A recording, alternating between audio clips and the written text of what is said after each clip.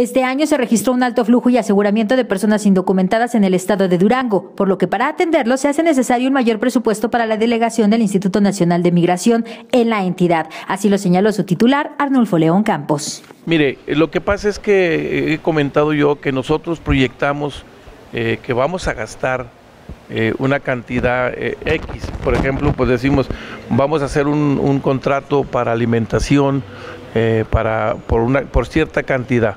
Eh, la ley nos, eh, nos obliga, si pasamos de cierta cantidad, a poderlo licitar. Entonces, si hace un contrato por X cantidad, si en un momento dado se vence, pedimos otra autorización para hacer otro. Entonces, eh, el gobierno federal es el que maneja el presupuesto, el gobierno, la oficina central maneja el presupuesto y cada oficina, de acuerdo a nuestras necesidades, eh, podemos proyectar. Pero en caso de que superemos ese, ese, ese gasto que, que se agote pronto, bueno, el gobierno, las oficinas centrales nos siguen apoyando, sobre todo en el aspecto de conducción y alimentación a los indocumentados. Eso sí, eh, aunque nosotros ya no tengamos presupuestado, nos ayuda, nos siguen apoyando. Bueno, en este año nosotros eh, tenemos, este año tuvimos presupuestado aproximadamente 10 millones de pesos para todas las actividades de la delegación.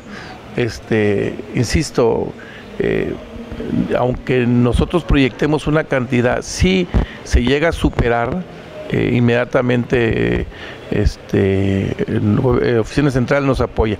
En esta ocasión tenemos proyectado que para alimentación en Gómez Palacio, que es donde tenemos el mayor número, tenemos proyectado para el que entra un millón de pesos y aquí en, Durango un 200 mil pesos de, para alimentación. En cuanto a, los vuelos, pues allí no podríamos uh, más que eh, proyectar el, número que, que, en esta ocasión fueron más de 100, más de 100 vuelos